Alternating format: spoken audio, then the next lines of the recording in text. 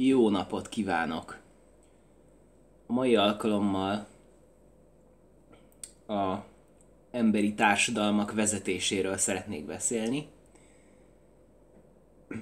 Modellekről, olyan modellekről, hogy nem, nem, nem elmerülve abba, hogy politikai vezetés vagy gazdasági vezetés, nem ilyen részletekben, hanem hogy hogyan kell vezetni egy társadalmat, hogy egy diktatúra legyen, legyen egy ember, aki mindenkinek megmondja, hogy mit szabad csinálnia, legyen egy ember, nagyon sokféle, vagy legyen egy teljes demokrácia, hogy nincs megkülönböztetett ember, hanem mindenkinek a szavá, szavazatát vagy szavát valahogy mérlegeljük, és az alapján alkotunk egy átlag döntést, vagy kijelölünk speciális embereket a tömegből, és ők alkotnak egy valamilyen képviseleti dolgot, vagy rétegekre figyelünk, szóval, hogy nagyon sokféleképpen meg lehet szervezni egy társadalomnak, egy civilizációnak a működését, mindegyiknek vannak előnyei és hátrányai, és hát filozofálgassuk szét a dolgot, szóval mossunk össze csomó minden, csomó minden ilyen érdekes dologgal, mert néha szeretek úgy tekinteni a társadalomra, mint valami szerve, szervezetre, a bolygóna, bolygó külső rétegén kialakult egy darab élő szervezet, ez az emberiség. Ilyen csoportok, csoportokba rendeződtek, és hát a társadalmat néha nagyon vicces úgy szemlélni, hogy az egyes emberek azok olyanok, mint egy emberi szervezetben egy szemsejt. Sejtek vagyunk, országba rendeződünk, szerveket képzünk, szervrendszereket képzünk, ilyen Európai Uniókat, meg Amerikai Egyesült Államokat képzünk, és ez alakítja ki az egész szervezetet. És hát ugye élő, össze lehet mosni így biológiával, akkor hát mindenféle perspektívába lehet ugye. Szóval, mint ahogy a történelem nem ismétli önmagát, azonban vannak hasonlóságok a történelemben, időben, ugye a természetben is vannak hasonlóságok. Ugyanolyan struktúrákban rendeződnek a dolgok a világban, úgy tűnik. Tehát simán elképzelhető, hogy különböző sejtek összeállnak egy közösségé, egy szervé, és egy adott funkciót látnak el, ahhoz értenek. Ugye a bolygón különböző helyek vannak, különböző helyen más és más életforma megfelelő, ami más és más kultúrát eredményez, ami or- más és más országokat eredményez, más és más népekkel.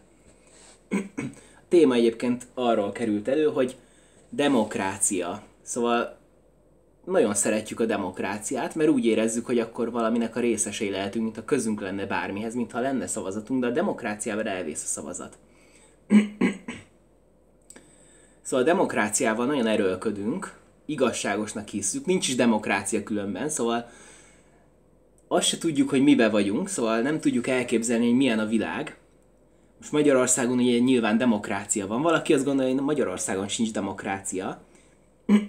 Jó, akkor biztos Amerikában van demokrácia, mert ők találták ki a demokráciát, vagy nem tudom. De ott is valami más van, mert ott is végül is hatalmi embercsoportok, ilyen parlamenti emberek hoznak döntéseket, a kis civil az nyilván semmit nem érzékel abból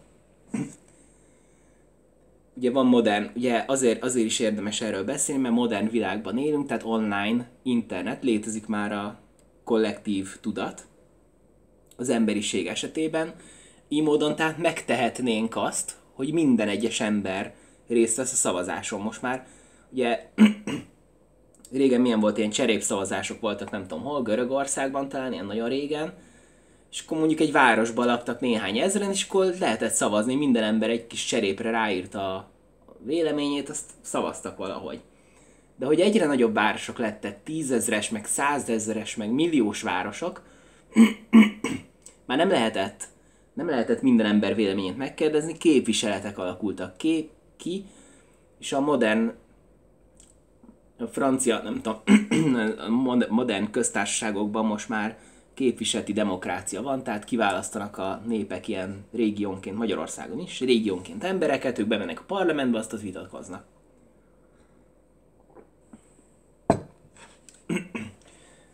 Na, szóval, de ma már az internet világában meg lehetne azt valósítani, hogy Facebook oldalon egy szavazás, és mindenki szavaz, ha mindenki szavazott, megnézzük az eredményeket, az lesz.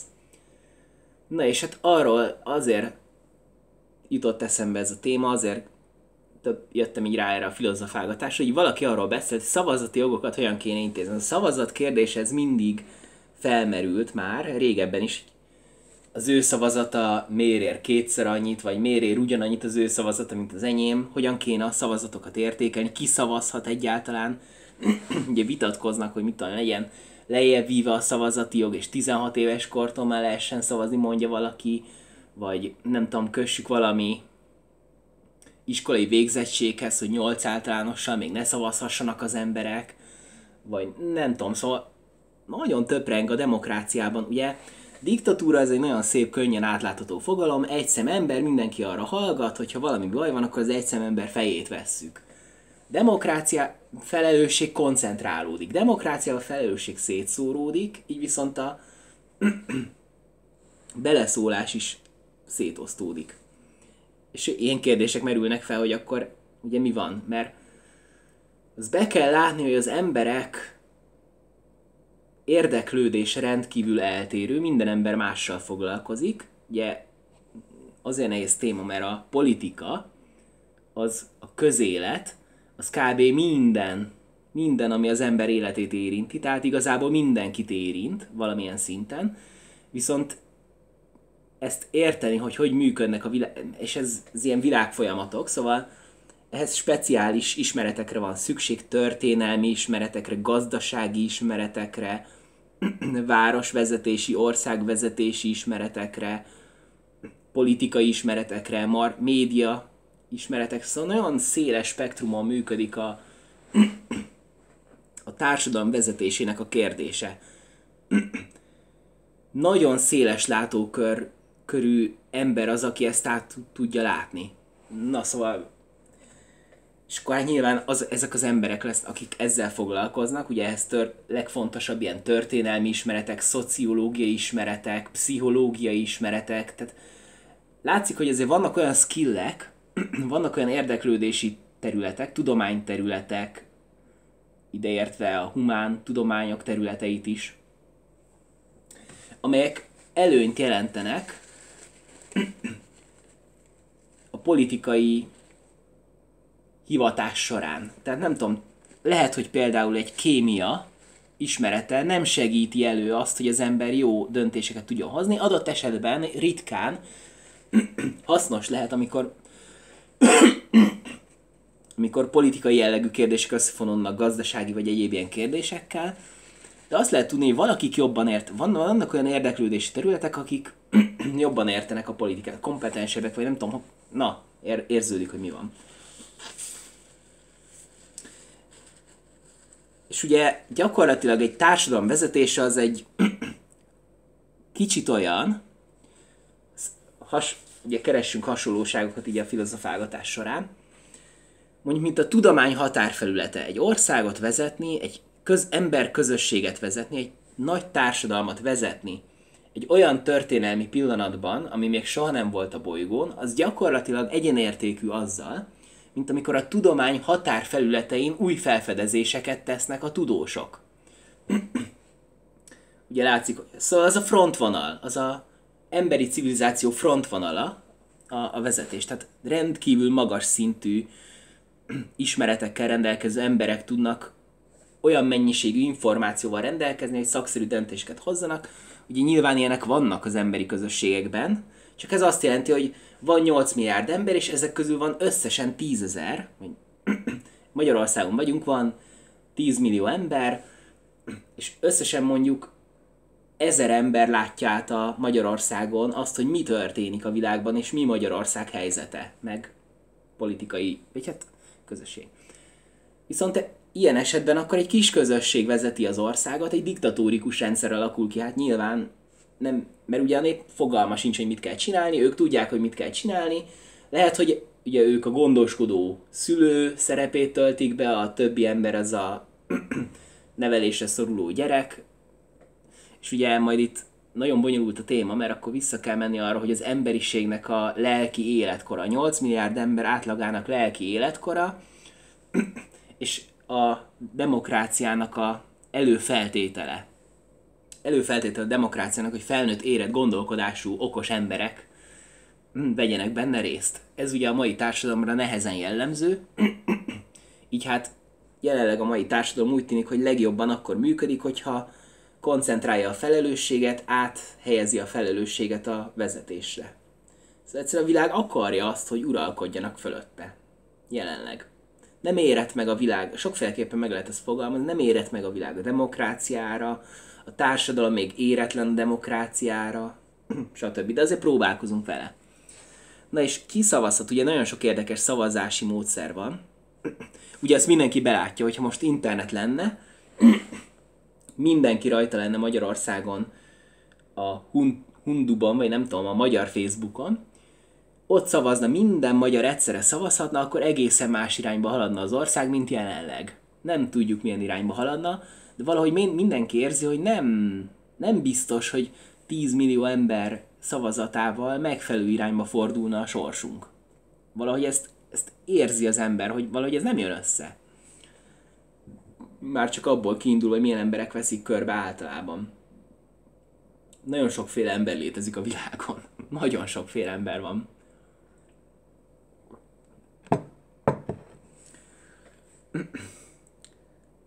És akkor hát így töprengünk, hogy jó, akkor valahogy azért szelektáljunk, 18. életévét betöltött emberek már szavazhatnak, és akkor felmerülnek ilyen kérdések, hogy oké, okay, mindenki egyet szavazhat, tehát egyet szavazhat az, akinek fogalma nincs arról, hogy mi történt a történelemben, meg hogy mi van. Ugye nagyon sokan hogyan szavaznak az emberek. Egy csomó ember úgy szavaz, hogy jó, milyen helyes megjelenésű az a politikus, mennyire érdekesen mozog, meg táncol, meg mit tudom én jaj, milyen szimpatikusan beszél, jaj, milyen karizmája van, jaj, milyen lelkesítő, rászavazok, fogalma. Nem is érti, hogy miről beszél néha a politikus, de rászavaz, mert szimpatikusan beszél, határozottan mondja, amit mond. Nem tekintélyet sugároz. Tekintélyt sugároz.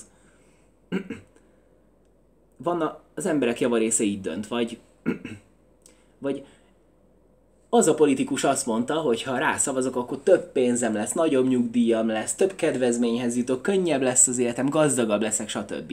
Vannak emberek, akiket a pénz foglalkoztat, hogy jobban éljenek az anyagi világban, tudjanak elhelyezkedni, az arra a politikusra fog szavazni.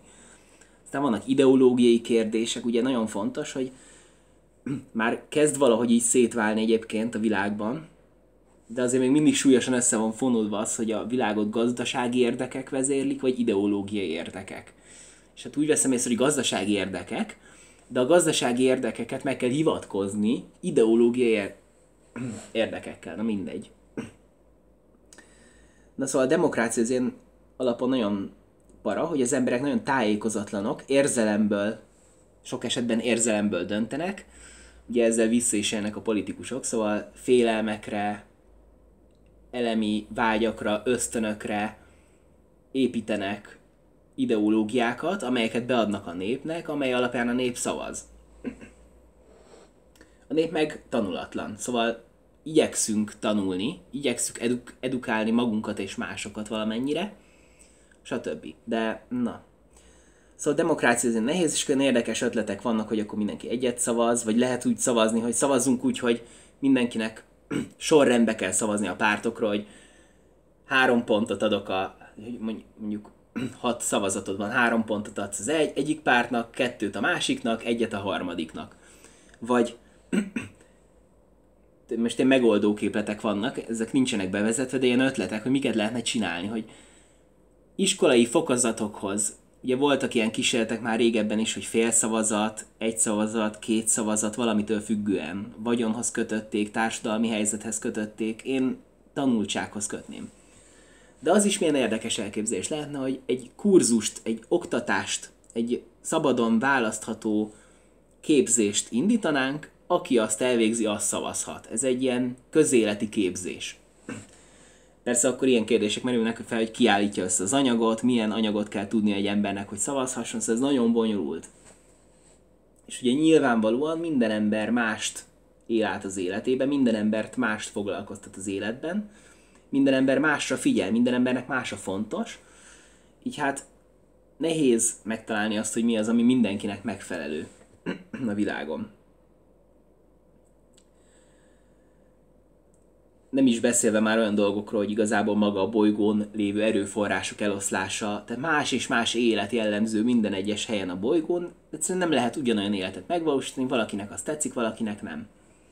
Úgyhogy ez egy nagyon nehéz ö, kérdés. Beszéljünk egy csöppet arról, hogy amúgy a pszichológiája milyen ennek a dolognak. Ugye az ember az nem mindig szereti azt, hogyha utasítják őt valamire, amit nem érti. Tehát az emberben kialakul egy ellenállás, amikor olyanra utasítják, amivel ő nem ért egyet. Leküzdhető ez az ellenállás, hogyha valahogy értelmet adnak neki, vagy értelmet hazudnak annak, ami történik. Szóval az em, igazából az embereket nem lehet megváltoztatni. Az emberek csak maguk, szóval rá lehet kényszeríteni az emberekre az akaratot, az emberek olyankor teszik a dolgukat, és tényleg olyan, mintha a rendszerbe beálltak volna, de igazából előbb-utóbb ellene, előbb-utóbb majd felhalmozódik akkor ellenállás, ez kipattan egyszerűen, és utána fellázad az ember a rendszer ellen. Tehát igazából egy rendszer csak akkor lehet működőképes, hogyha az belülről fakad, az ember önmaga akar a rendszerhez igazodni. Ugye ez nagyon speciális, tehát és akkor itt, itt jön a diktatúra és a demokrácia. A diktatúra az megpróbálja belekényszeríteni az embert, hogy majd szépen talán formálódik. Ennek van valami hatása, mert generációról generációra már van hatása a diktatúrának, tehát lehet, hogy az van, hogy szülőnek még kényelmetlen a keretrendszer, de a következő generációnak, akinek már az az alap, már abba született bele, hogy keretrendszer, az már bele simul a keretrendszerbe. Az ő generáció meg bele simul abba. Tehát itt van egy ilyen, ilyen jelenség, hogy rákényszerítjük az emberre, aztán hát ha sikerül, akkor minden rendben. Ha nem sikerül, akkor nagy lázadások vannak, meg vérontás, meg háborúk, meg szóval tudjuk, hogy a demokráciák, mi a szar? A diktatúrák milyen jelenetekhez vezettek a történelemben. Ugye mindig, és érdekes módon, én mégis azt gondolom, hogy diktatúra ma a helyes megfelelő, vagy a diktatúrák lehetnek ma megfelelő vezetési struktúrája egy társadalomnak. Tehát diktátorra van szükség sajnos, csak eddig még nem jelent meg a világban normális diktátor. Úgy tűnik, hogy a diktátorság elcseszi az embert annyira, hogy utána rossz diktátor lesz, mint hogyha nem lehetne jó diktátor. De attól, hogy még soha nem láttunk jó diktátort, vagy nem tudom, lehet, hogy voltak jó diktátorok már, tehát azért lehet, hogy szóval nem láttuk a diktátorokat, csak a rosszakat, mert azokra így odafigyelünk. Kicsit olyan, mintha nem lehetne jó Szóval attól, hogy nem látunk jó diktátort, lehet, hogy létezik. Ezt akarom mondani. Viszont az rákényszeríti az ember. Ugye akkor megvan szabva. Ez kicsit olyan, ez dikta, és akkor mi a diktatúra? Ugye az emberi szervezet az nem demokrácia, az diktatúra. Vannak a kis szervek, azok kis országok. Vannak a szervrendszerek, azok ilyen kis Európai Uniók. De ott van mindenek fölött az agy, ami egy ilyen háttérhatalom az egész fölött, tehát az agyat szabályozgatja azt, hogy a szíved hogy ver, az agyat szabályozgatja azt, hogy milyen cuccok, szóval mindent az agyat szabályoz. Diktatúra van. A, ki, és ugye mi történik, hogy diktatúrából valami kitörés történik, hát a rákról szokás így beszélni, meg sok ilyen hasonlat is van, hogy a fogyasztói társadalom az a rákos daganat, meg a rendszertől való eltérés, ez, ez a demokrácia maga a rákos daganat, stb. Amikor májsejt hirtelen úgy gondolja, hogy én, én vagyok a májsejt a legtökéletesebb, és az egész szervezet, ha májsejt lenne, akkor jó lenne. Csak aztán nem jön rá abba, hogy amúgy egy globalizált rendszerben van az emberi szervezetben, és hát ha már a szívből is máj lett, akkor nincs szívverés. Májverés az nem ugyanaz. Tudom én. Úgyhogy a demokrácia az, az viszont a másik lehetőséget engedi, hogy az ember már most úgy élhessen, ahogy akar, boldogan. Ugye, és akkor itt a demokráciát szeretném főleg vizsgálgatni, mert demokráciára van szükség. Tehát a, az milyen jó lenne, ha a májsejt tudna kommunikálni a szívsejtel. Tehát ugye ma az internet világában lehetőség van arra, hogy minden ember kifejleszte magát, lehetőség van arra, hogy meg, megbeszéljük a világ dolgait, nagyon nagy témákról van szó, de mégis úgy érzem, hogy demokrácia lehetne az. Tehát szükség van arra, hogy kommunikáljunk, mert miért is van erre szükség? Mert diktatúrában az a baj, hogy ott kevés a vita. Tehát bármennyire is sok ember, az a szűk ember közösség, akit ki tudunk emelni, mert ők valamiben tényleg jobban tudják azt, hogy hogyan kell vezetni egy társadalmat, de ez mégiscsak egy, egy kivonat. Egy kivonata csak az egész társadalomnak. Lehet, hogy koncentrál, de csak 95%-os lehet. Lehet, hogy ők jól látják, de nincs, nincs ott az egész. Hogyha ugye én nagyon nagy skálákon szeretem szemlélni az emberiség sorsát, tehát milliárd éveket kellene itt eltöltenünk emberiségként a Földön. És ezt én egy olyan társadalomban képzelem, ahol minden egyes sejt tudja a dolgát, és minden egyes sejt kapcsolatban a többi sejtel. Tehát egy kollektív tudat van. És minden ember tudja, hogy mi a jó. ugye ez egy nagyon ideális világ, ugye ez, ez az, amit annyira, annyira nehéz elérni, de meg lehet csinálni, hogy ez a földi mennyország, földi paradicsom, ugye Jézus második eljövetel, amikor minden ember egy Jézushoz hasonlító személy, mi, az milyen jó világ lenne, mert Jézus egy tök jó fej egyébként, nem tudom, ismeritek-e. Vannak filmek róla, szóval Star, Rockstar Jézus. és akkor egy ilyen földet lehetne megvalósítani. Vissza, és akkor ugye ez, ez egy olyan föld, ahol ugye az emberek a boldogságukat abban találják meg, hogy a közösség érdekeit tartják a szem előtt. Ugye a demokráciában jelenleg azért nem lehet ezt megcsinálni, mindenki saját érdekeit tartja a szem előtt, aztán abból próbálunk átlagolni valamit. Csak ez nem jön össze, mert nem Jézusok csinálják ezt az egészet, hanem gyarló emberek. Úgyhogy lehet itt töprengeni szerintem, hogy akkor most hogy osszuk el a szavazati jogokat, meg mit tudom én, de az emberek még nem állnak azon a tudatossági szinten. Ugye mit jelent az, hogy tudatosság? Nem is lehet egyébként tudatossági szintet elérni ebben, mert iszonyat sok tudás. Tehát egy emberben nem fér el szerintem annyi tudás, hogy átlássa azt, hogy hogyan kell vezetni. Tehát mindenképp több ember közreműködésére van szükség. Szükség van közéleti kérdésekben bármi felmerülhet. Hol rakjunk gyárat, milyen gyárat, milyen környezeti hatás, minden tudományterületre szükség van. Ilyen alapon az egész társadalommal lévő összes ember véleménye számít, de minden ember véleménye máshogy számít. Nem, nem lehet ezt így megvalósítani egyszerűen. Hogy mi a jó, és nincsenek is helyes válaszok, hogy mi a jó világban. Szóval iszonyat bonyolult, bonyolult, hogy olyan kéne ezt vezetni, nem is, nem is lehet átlátni. Minden esetre azt, azt tartom, hogy a demokrácia jelenleg az egy annyira high-tech fejlem, fejlett, a demokrácia annyira előre haladott igazából a 10 millió 2024-es évekből származó találmány lenne a demokrácia, ott lenne aktuális technológiai, technológiai fejlesztés a demokrácia, ahol már az emberek megértek arra, hogy azt használni is tudják. Most itt vagyunk, a demokrácia az olyan, mintha odaadnál egy szuper számítógépet egy majomnak, és akkor a majom az így elkezd így csapkodni a billentyűt, azt látjuk, ezt megnéz, ezt valamit csinál a számítógép, amit épp eltalál a majom. Ez kb. a demokrácia. Úgyhogy nem, úgy érzem, hogy nem megfelelő, nem érett meg az emberiség a demokrácia, a diktatúrára van szükség. és akkor itt jönnek azok a kérdések, hogy diktátoroknak mi, mi a fene? mert itt ugye sok modell van, hogy egy ember legyen mindenért a felelős, vagy egy ember csoport legyen mindenért a felelős, vagy minden országnak legyen egy ember csoportja, meg egy főembere, aki mindenért a felelős, és akkor sok országnak is legyen egy ilyen közös ura és közös közössége, és annak is a tetején valami. Nem tudni, hogy mi a megfelelő választás, de szerintem koncentrálgatni kell a felelősségeket. Nem is értem egyébként.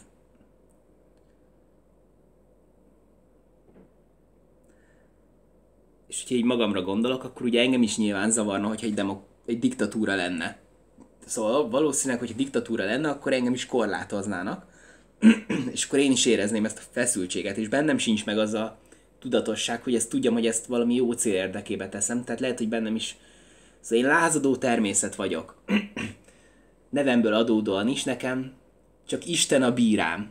Vagy nem tudom, én nagyon benne vagyok ebbe a tudatban, hogy nekem csak Isten parancsolhat hogy csak a fény parancsolhat nekem, vagy nem tudom, csak a... Szóval csak Isten-től fogadok el közvetlen parancsot, minden mást azt magamon keresztül értékelek. De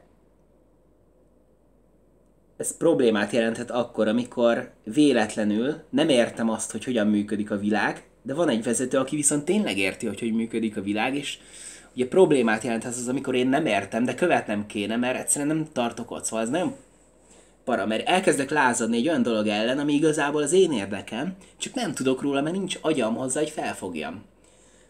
ugye ez nagyon...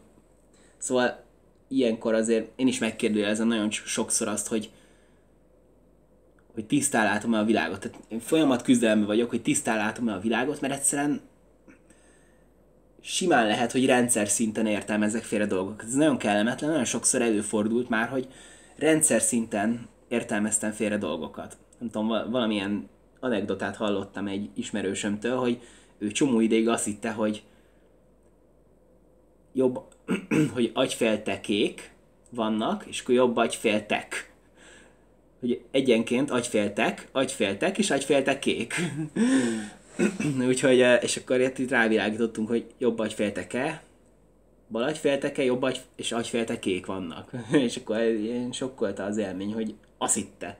Meg csomó embernek van ilyen azt hitte élménye, hogy ebben élt csomó ideig, aztán rájött, hogy hülyeséget gondolt. Vannak ilyen effektek.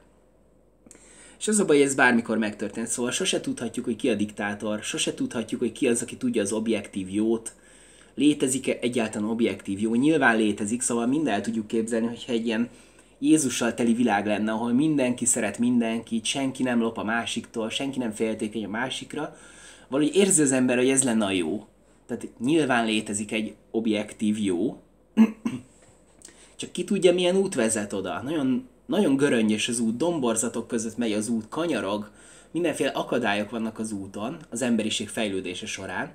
Most például ilyen akadályok vannak, hogy erőforrás eloszlás, emberek képzése, felvilágosítása, nem tudom, szóval hol a helyünk ember szinten, szóval, szóval nagyon göröngyös út vezet ahhoz, de tudjuk, hogy van egy objektív jó, és nehéz eldönteni, hogy ki az, aki látja ezt, ki az, akit követni érdemes vagy kell.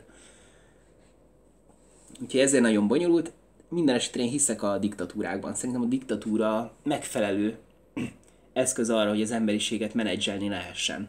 Jelenleg. Aztán Persze lehet kísérletezni, mindig mondom azt, hogy kísérletezünk olyanokkal, hogy oké, okay, vezess, diktat, vezess egy kis szűk közösség a, az országokat, legyen diktatúra, stb., de közben mérjük, hogy az emberek hol tartanak. Szóval fejlesszük ki a interneten azt, hogy van Magyarország, jelentkezzen fel mindenki a magyar köztársaságnak a felületére, személyigazolványjal, stb. Magyar, magyar állampolgár, és ugyanazokról a kérdésekről szavazzunk, amiben a parlamentbe szavaznak, meglátjuk, hogy mennyire függ össze. Legalább mérjük le, hogy mekkora összefüggés van a között, amit a nép akar, vagy ért, vagy tud. Ugye nagyon fontos, hogy amit a nép majd ott szavazni fog, az valami katyvasz lesz, ami fontos neki, amit ért az egészből, lehet, hogy nem is értik. Valaki csak így rákattint, valaki trollkodva kattint, szóval valami káosz lesz ott a nép oldalán, és lesz valami, dö- valami döntés, amit megvalósítanak a parlament oldalán, hasonlítsunk már össze, hogy mi van.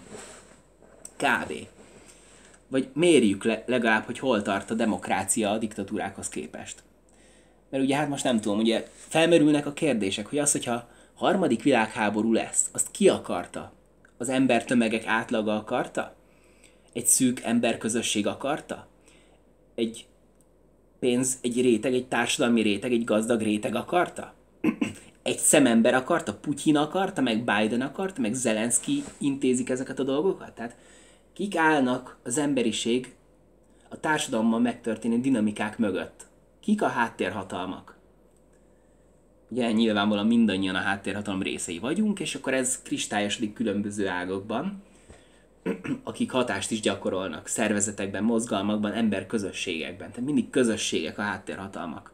Több is van. Bármelyiket választhatod. Kartelrendszer, összeesküvések, stb. Mi léteznek összeesküvés elméletek. Úgyhogy nem tudom. Nyilván léteznek, tehát az is egy háttérhatalmi rendszer, hogy én itt szervezkedek. Tehát, hogy véletlenül elterjedne rohadtul az a nézőpont, amit én itt tolok, akkor lehet, hogy, az, lehet, hogy ez egy mozgalmat indítani, és lehet, hogy ez fogja majd elhozni. Tehát minden ember terjeszti a kis tudatát, minden ember önkéntelenül terjed a világban, ilyen vírusok vagyunk, tehát terjedünk a világban, gondolataink terjednek a világban. Minél több ember találkozol, annál jobban, és így terjednek ilyen, kicsit úgy képzelem el ezt, mint egy ilyen petri csész, egy csomó baktériumot szaporodik benne, és így a határfelületeken így eltolják egymást, visszaszorítják egymást, egyik kiöli a másikat, egyik bekebelezi a másikat, és így terjednek az ideológiák, a gondolatok, meg a világnézetek. És akkor hát ez fogja meghatározni a társadalomnak az irányát. Mi vagyunk a háttérhatalom, minden egyes 8 milliárd ember független döntése hozza össze a társadalmat, a, a világot. Nagyon durva. Elkép, elképzelhetetlen, mint valami, mint valami, nem tudom, valami mesevilág, valami, alternatív dimenzió, olyan az egész világ. Mihez képest alternatív. Na mindegy. Na ennyit szerettem volna mondani, demokrácia vagy diktatúra. Én inkább ott tartok, hogy nekem csak Isten a bírám, azt kész. Csak az Istennek engedelmeskedek. Az a helyes, nem? Csak persze közben ellenőrzöm magam, hogy amúgy ugye nem szegülök szembe Istennel. Szóval Isten nem szól, hogyha rossz úton járok, nekem kell észrevennem, ha rossz úton járok. Ez ilyen nehézség. Úgyhogy emiatt küzdök, hogy, meg, hogy megfelelhessek Istennek. Hogy büszke lehessen rám. Mivel hálás vagyok neki, szóval ez fontos, hogy megfelelni akarok neki, mert hálás vagyok neki, hogy létezhetek. Na mindegy, ez nagyon érdekes. Na viszontlátásra.